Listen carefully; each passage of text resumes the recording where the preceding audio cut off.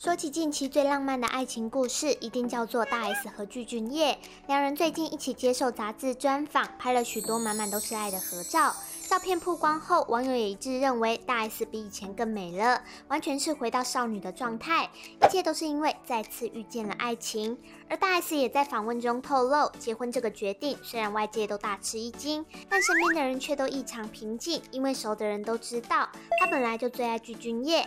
自己是出了名的会追人，但因为太喜欢具俊晔，反而不敢追，所以二十四年前是具主动追求他。交往两年后，因为工作关系被迫分手。大 S 坦言那时候非常痛苦，超想退出演艺圈，心里想着因为自己是艺人，才不能跟他自由交往，所以很讨厌这个工作。最后是伟忠哥哀求他不要退出演艺圈，他才和小 S 及范晓萱请了三个月的假到伦敦聊情商。而之后的二十二年，大 S 经历了一段十年婚姻，因为小孩而决定回归家庭，最后和具俊晔再次相爱。表示，从小到大，人生几乎每天都充满恐惧，不管是原生家庭，或是我之后自己组的家庭，都有各式各样的压力和包袱在身上，像战士一样去面对每一天。但遇见欧巴之后，一切都不一样了。一开始也很害怕，大家不接受，但嫁给欧巴之后，身边没有反对的声音，感受到从没想象过的幸福。现在有时候半夜睡着，还会以为自己在做梦，